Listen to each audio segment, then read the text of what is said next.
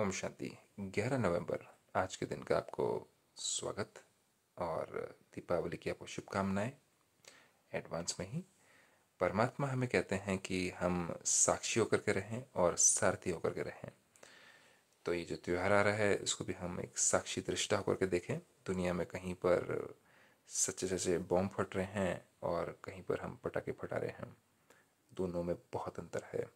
तो साक्षी होकर के देखना इस ड्रामा का इस दुनिया के ड्रामा को वो भी बहुत ज़रूरी है।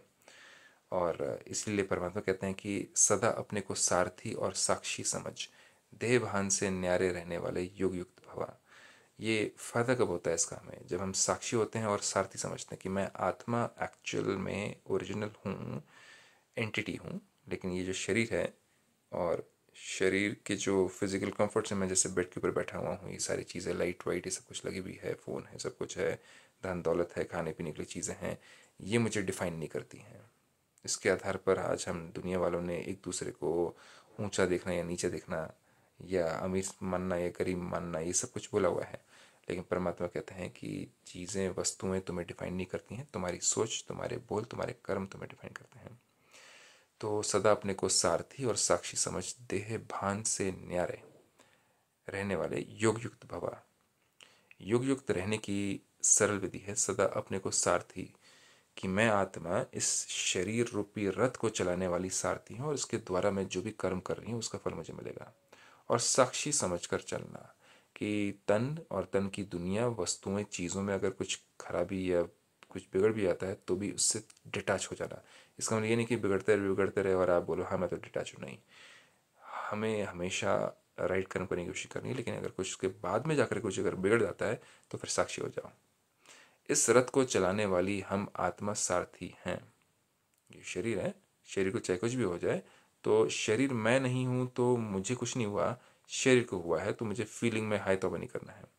हाँ भल शरीर के, शरीर के द्वारा ही आत्मा हर चीज़ महसूस करती है, वो तो अपने कर्मों का भोग है, लेकिन उससे डिटैच होने के लिए मुझे इतनी ज़्यादा इसको इम्पोर्टेंट नहीं देनी है। दवाई ज़रूर खानी है डॉक्टर को ज़रूर मिलना है, और अपनी सेहत को अच्छा रखना है, योग, व्यायाम करके। लेकिन अगर फिर भी ये सब कुछ करते हुए कुछ भी होता है तो फिर साक्षी हो जाना है। ये स्मृति स्वतः इस रथ अथवा देह से व किसी भी प्रकार के देह भान से न्यारा बना देती है। देह देह के बारे में चीज़ें आप जो सोचते हैं, गोरा हूँ, काला हूँ हैंडसम हूँ, मोटा हूँ, पतला हूँ, और देहभान देहभान की चीज़ें आ गई, वस्तुएँ आ गई पोस्ट आ गई पोजीशन आ गई पावर आ गई, और बहुत सारी चीज़ें आ गई हैं। विस्तार बहुत है इसका। देहभान नहीं तो सहज योग युक्त बन जाते और हर कर्म भी युक्ति युक्त होता है।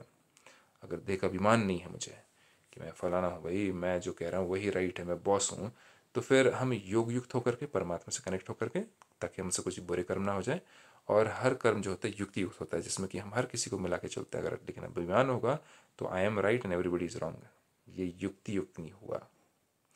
स्वयं को सारथी समझने से सर्व कर्मेंद्रियाँ अपने कंट्रोल में रहती हैं। मैं आत्मा सारथी हूँ, ये कर्मेंद्रियों का मालिक हूँ, ये कर्मेंद्रियाँ मुझे कंट्रोल नहीं करती, मैं इनको कंट्रोल करता हूँ। वे किसी भी कर्मेंद्री के वश नहीं हो सकते। ये बहुत बड़ी प्रैक्टिस है, बहुत ऊँची प्रैक्टिस है, जो कि हम ब्रह्म कुमारी इसमें हर दिन करते हैं और एक एक कदम हम इस तरफ़ बढ़ रहे हैं, जिससे कि हम कर्मेंद्र को वश में करें, न कि उल्टा हो।